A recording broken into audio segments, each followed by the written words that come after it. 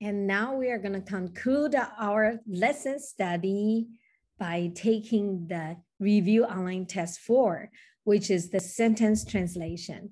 If you want to review all of the sentences, you can go to sentence typing in review.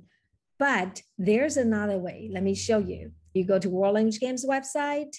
Here, do you see sentence info, the third one, sentence info? You just click on it and click on lesson one.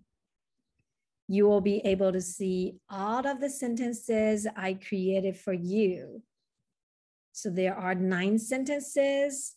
Then you can study, you can test yourself, you can also listen to it. 您好，请问您贵姓？ After that, you can go to review right here.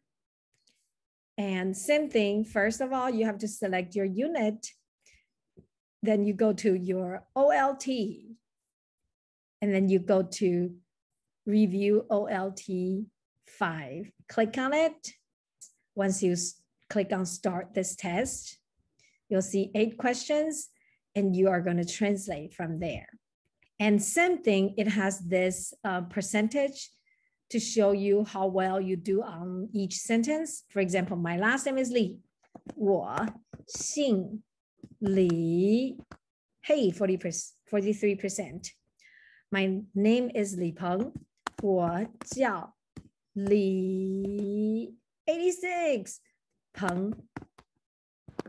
Okay, 100%. Keep doing it. There are eight questions, and at the end, you can submit for grading. It will tell you right away what your score is.